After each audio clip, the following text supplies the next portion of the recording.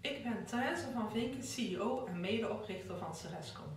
Cerescon heeft 's werelds eerste oostrobot voor witte asperges ontwikkeld. 800 miljoen aan aspergeomzet dreigt te verdwijnen uit Europa door de stijgende kosten van arbeid en de dalende beschikbaarheid. Ook raakt men 30% asperges kwijt door ondergrondse beschadiging. Het unieke van Sparter is ondergrondse detectie, waardoor de oogstkosten met 50% gereduceerd worden, maar waardoor er ook meer en betere kwaliteit asperges geoogst worden.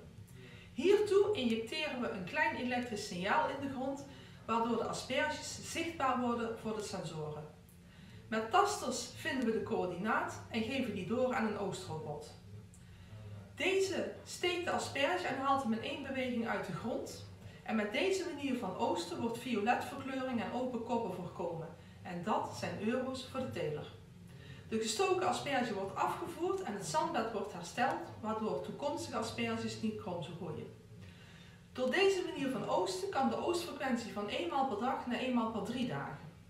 Srescon heeft dit ontwikkeld samen met de Universiteit van Wageningen en de User Group, grote innovatieve telers uit Nederland en Duitsland.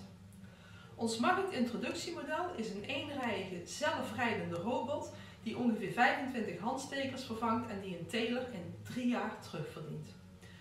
We starten nu de verkoop en productie en willen in vijf jaar groeien naar 150 machines per jaar. In Nederland doen we dit zelf, in het buitenland doen we dit met dealers die ook de service doen. Cerescon zorgt ervoor dat u kunt blijven genieten van een heerlijk bordje verse witte asperges.